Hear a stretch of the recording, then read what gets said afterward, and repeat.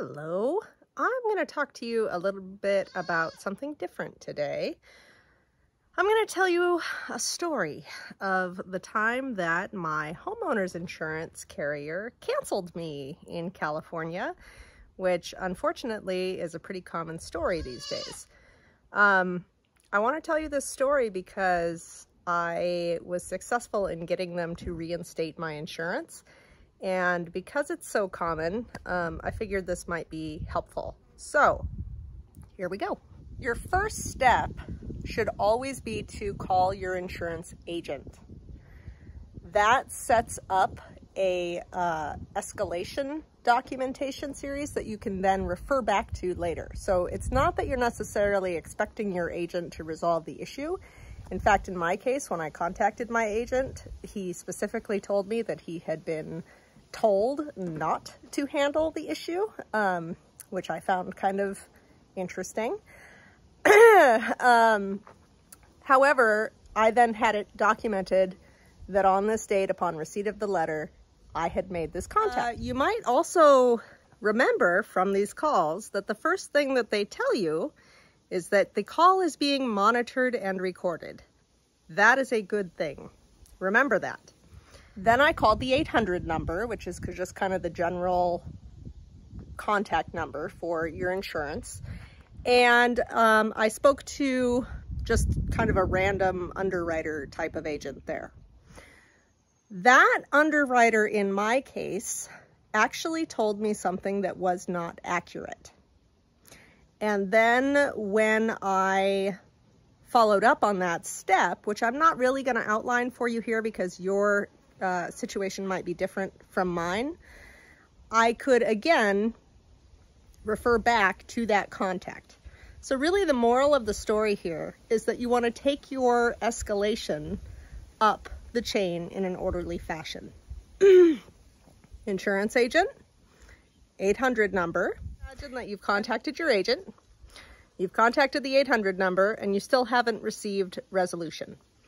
Let's return back to the original letter of adverse action that you received. When your insurance carrier sends you the letter of adverse action, it's really easy to overlook the part at the bottom of the letter, which often is on the back side of the page, where it tells you what your options are. Making a formal request for all of the information that the insurance company had collected on me and my property. It also included the contact information and directions to get the um, information from the third party that had taken the aerial photos of my property, which had led to their cancellation, which, by the way, was completely bogus. But again, I'm not going to get into the specifics here because the point is how to fight it when your insurance company tries to cancel your insurance for reasons that are ridiculous, um, which they are in California. They are going to single-handedly tank the housing market, and I hope they are proud. Anyway, I digress. Back to this uh, options that you have in your letter. The other thing that they are legally obligated to include in that letter is the directions and website to file an official complaint with the California Department of Insurance. So earlier we talked a little bit about the importance of documenting kind of all of your escalation steps.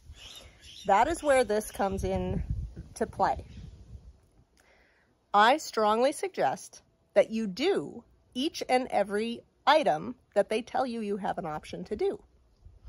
So in my case, I reached out to the third party uh, company, I don't even know, that had taken the footage of my house.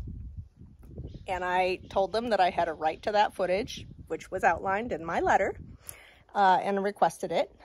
I reached out to the insurance company itself and requested documentation of all of the information that they had on me and I also requested the uh, audio and or transcripts of all of the telephone calls that I had made regarding my cancellation. Or actually, in my case, it was a non-renewal, but same difference. They're canceling you. Um, and then I filed a complaint with the California Department of Insurance. I copied my agent on all of this communication.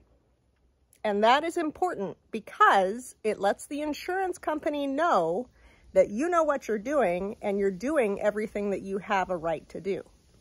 You're not going to let them get away with this, we'll call it nonsense.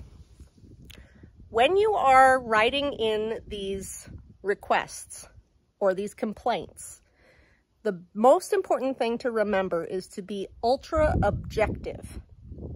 What that means is that you are keeping it very much in line with the facts. So here are the facts. In my case, my property was not in the condition described. And I submitted documentation to that effect. I submitted a lot of photo evidence. I also was very careful to be clear about what I was requesting. And when you file a complaint with the California Department of Insurance, there's a place for you to indicate what you want. What you want, even though it may very well be to get somebody fired, you're not gonna say that. I know it would be awesome. But no, you're not gonna say that. You want your insurance policy renewed or reinstated or whatever the case may be. And you are within your rights to request this because you have done all of these things in order to set yourself up in order to get that request accommodated. The California Department of Insurance will not take up each and every complaint. So that is why it is so critical that you use objective language. These are the facts. This is why I deserve what I'm asking for. Keep it business, not personal. And this is what I want the California Department of Insurance to do. The California Department of Insurance, after you file a complaint, will reach out to you and give you kind of like a case manager, assuming that they take up your case. Um, and insurance companies really don't like to deal with that, especially now in California because so many companies are fleeing our state and leaving us completely in the lurch and ruining our housing market. But again, I digress. Uh, they really don't want to have these conversations and they don't want to be scrutinized by the state. California is very regulation happy. So why not use that to our advantage as consumers? So, long story short, my request for renewal, after being told by every single person up the chain of command that it was impossible and not appealable, lo and behold, they found a way to renew my policy. Huh, imagine that. So I hope this has been helpful for you. Big takeaways, escalate in order. Start with your agent then the 800 number, then every single thing you have a right to do as outlined in your letter, and keep it objective. It's really hard. It was really hard for me not to make it a vendetta. um, but I was able to keep it professional, and I truly believe that that is what made me successful in getting my complaint taken up by the California Department of Insurance and therefore uh, reached a resolution resulting in me still having homeowner's insurance that I can afford. Amazing. Anyway, if this has been useful to you, please like, subscribe, and share. Uh, otherwise, I kind of feel like I'm screaming into the void, which sometimes I am. Have a great day. Happy fighting the good fight. Take care.